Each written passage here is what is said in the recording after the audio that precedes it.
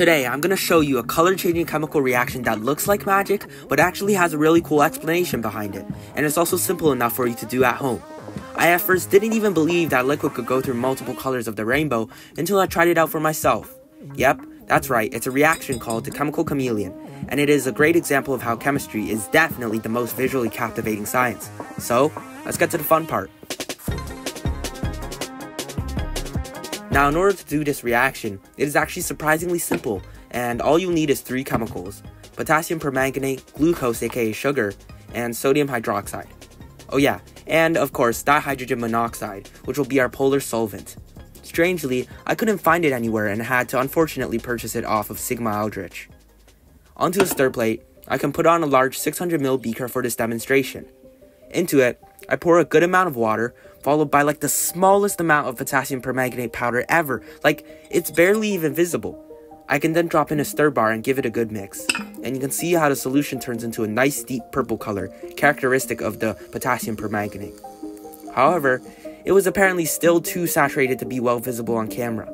Thus, to make the color a little lighter, I had to dilute it a bunch more with water, which I sped up as you can see here. To be honest, from what I heard, the exact masses and amounts of each chemical aren't super important, as in the end they'll just be affecting the reaction rate, so I just eyeballed each amount. The reaction should still work perfectly though. Next, I can set this first solution aside and prepare our second one, which is a solution of sugar and sodium hydroxide. So first, I'll pour in a layer of sodium hydroxide pellets, and then I can cover it with another thicker layer of my granular sugar. Again, it doesn't really matter the specific amounts that you use, it should in the end still work fine. I can then pour in a good amount of water and stir it until it all dissolves.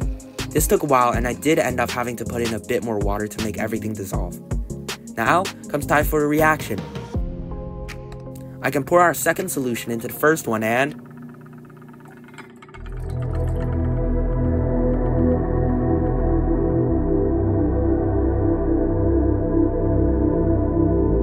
can see how it shifts through a variety of colors, first from purple, then to gray, then to green, and finally to a bright yellow.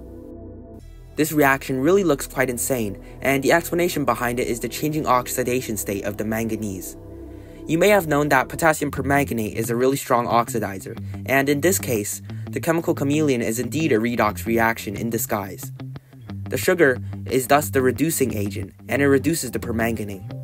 When the permanganate reacts with the sugar, it usually attacks at this primary alcohol site, which can readily be oxidized by a strong oxidizer, like our permanganate, into a carboxylic acid through a pretty long mechanism which I won't include here. In the end, the permanganate will be reduced into manganate, where the manganese instead bears a 6 plus oxidation state instead of the 7 plus. Here the 6 plus oxidation state is now a green color. Finally, this manganate further undergoes a disproportionation reaction, leading to the formation of manganese dioxide, which, when suspended in the water, looks yellow. The disproportionation reaction also takes longer to form our MnO2, which kinda explains why the last step was slower.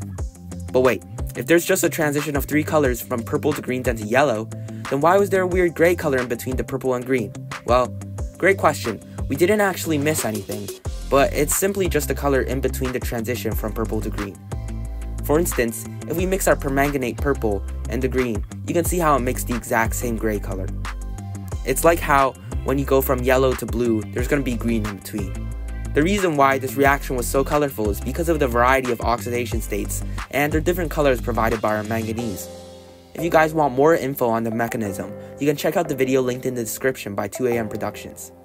Also guys, let me know in the comments if you'd like some more inorganic chem videos. I've only made a few like our iodine one, but after all, my channel is called Carbon 12, right? I wanted to sincerely thank my first three $5 and above Patreon supporters, Dangerous Lab, Simone67, and Superpro. Their support means a lot, and I will provide behind the scenes, ad free content, shoutouts, and more.